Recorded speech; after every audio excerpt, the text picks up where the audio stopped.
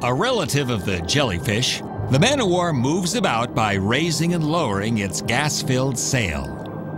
Think you're looking at one organism? Wrong. Multiple organisms called polyps are all working together to breathe, reproduce, feed, and survive in one gelatinous body. These tentacles can stretch up to 50 feet long, and most of them are studded with venom packed stinging cells.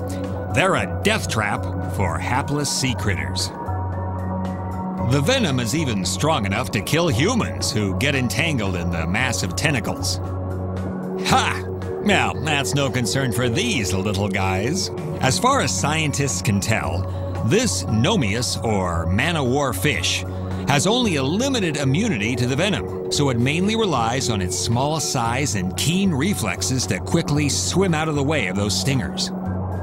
Other fish are attracted to its seemingly protected position, only to get zapped by the man o' war. Now, here's the gushy part.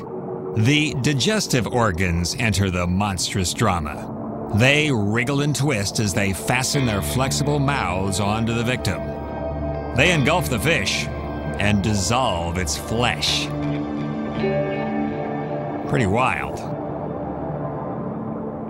Yet, the mighty man o' war is not invincible.